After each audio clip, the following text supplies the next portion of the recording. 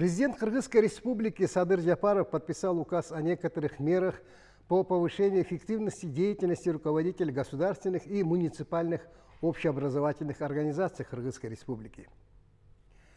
Цели и задачи, которые преследует этот документ, абсолютно прозрачны и понятны – но судя по отзывам и некоторым публикациям в социальных сетях и в интернете, у жителей республики есть некоторые вопросы к тем, кто призван реализовать эти задачи на деле. Здравствуйте. Действительно, указ сам по себе не содержит ничего сложного и не ставит невыполнимых задач.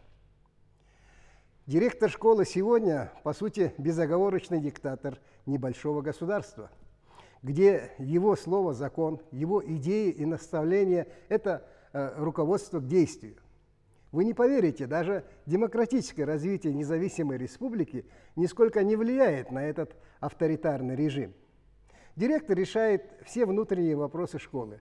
От его решений и указаний зависит распорядок деятельности образовательного учреждения, морально-нравственный уровень и жизненный уклад отдельного педагогического сообщества – от него же во многом зависит и будущее детей, и отношение родителей к системе образования, в частности, их оценка прозрачности и уровня развития системы. Согласно существующим требованиям, директор школы обязан иметь высшее педагогическое образование.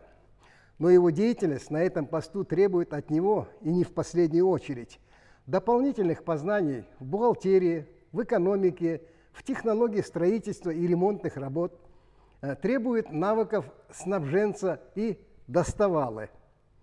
В фильме «Доживем до понедельника», если помните, директор школы, учитель истории по образованию, двумя фразами определил, определил свое место. «Я завхоз. Вот достану новое оборудование, радуюсь. Выбью кондиционеры, горжусь», — говорит он. При всем при этом от директора школы в конечном итоге зависит степень занятости учителя в образовательном процессе, а значит и уровень его заработной платы. Так хорошо все это или плохо, в конце концов? Однозначно ответить на этот вопрос сложно, на мой взгляд. Попробую объяснить, почему. С одной стороны, директор в современной школе должен быть немного диктатором, ну хоть самую малость. Авторитет директора – это стержень, на котором держится благополучие и развитие школы. От него же зависит и трудовая дисциплина в педагогическом коллективе, контроль уровня получаемых учениками знаний. Соблюдение общих правил школьниками тоже во многом зависит от авторитета директора. Ну, вспомните, обращение учителя к нерадивому ученику. Тебя вызывают к директору. Обычно это действует на нарушителя школьного спокойствия как магическое заклинание. Но все эти плюсы авторитарного режима в школе возможны, если авторитет директора и педагогическим коллективом, и учениками школы признается безоговорочно, как положительный результат работы грамотного специалиста и честного, незапятнанного человека. Такое бывает. Подобные люди были всегда, они есть и сегодня – Правда, надо признать, что их совсем немного, но они есть.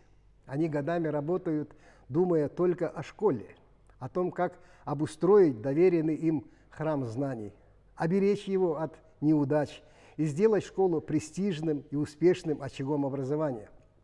Думают, где, что и как приобрести для школы, что нового внести в ежедневный образовательный процесс – как подтянуть и систематизировать знания, которые ученик должен получить за годы учебы, как повысить профессиональный уровень педагога, чтобы знания его учеников не были поверхностными и половинчатыми. Поверьте, это очень большая нагрузка и огромная ответственность. Уход такого руководителя может весьма негативно сказаться на состоянии школы, коллектива и привычной организации учебного процесса. А с другой стороны, есть руководители образовательных учреждений, которые занимают должность директора школы много лет. Люди совсем иного толка. Они тоже имеют свое авторитетное слово в коллективе и тоже делают все, чтобы в школе было новое оборудование, современная техника, технологическое обеспечение, но у них со временем появляется ко всему этому своеобразное отношение. Отношение к школе как к своей вотчине, к своей собственности, как к источнику собственного благополучия и личного обогащения. Их многолетний труд и вклад в успех школы ими же воспринимается как личный вклад в собственное доходное предприятие. И, к сожалению, таких немало. Коррупция и мздоимство прочно прописались в стенах школ, особенно городских. Вымогательство ежемесячных взносов, пусть даже через родительские комитеты и различные там фонды, придирчивый и явно мотивированный отбор детей при приеме в школу. Все это в совершенно определенной степени имеет место почти в каждой школе. Но чаще всего эти неблаговидные явления приживаются в престижных городских школах. Об этом говорят и сами родители учеников, которым ради своих детей приходится ежемесячно платить школьные взносы, скидываться, так сказать, на различные мероприятия, на подарки учителям и прочие чудачества коллектива и директоров школ. Хотя с виду и не скажешь, а школа все больше становится дойной коровой. Кормят ее родители, а доит директор. Такая вот оборотная сторона медали.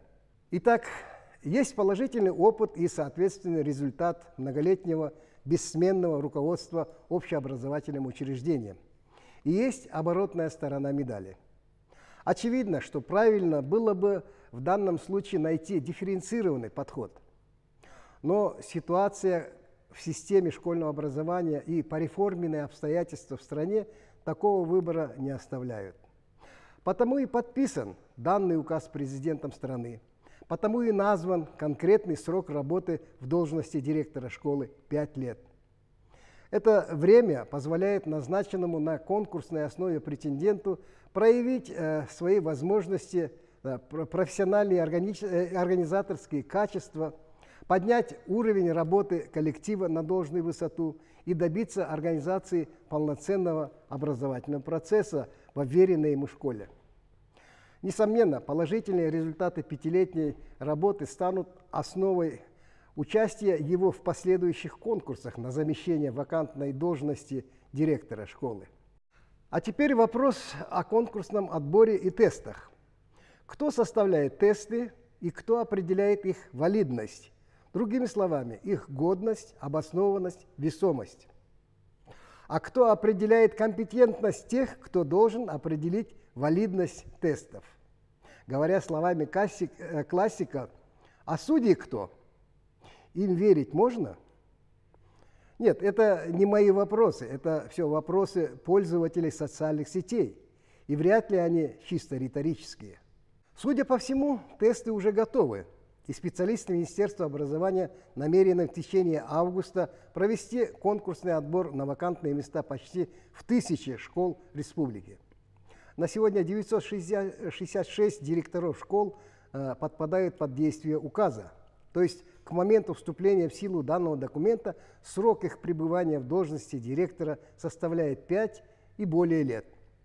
Кто-то из них, возможно, попробует свои силы в конкурсе на общих основаниях а кому-то, возможно, повезет меньше в силу возраста или иных причин. Как бы то ни было, назначение директоров школ на основе конкурсного отбора вполне в духе времени.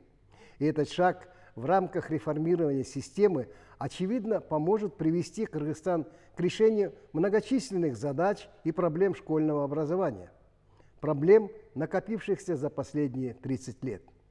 Всего вам доброго.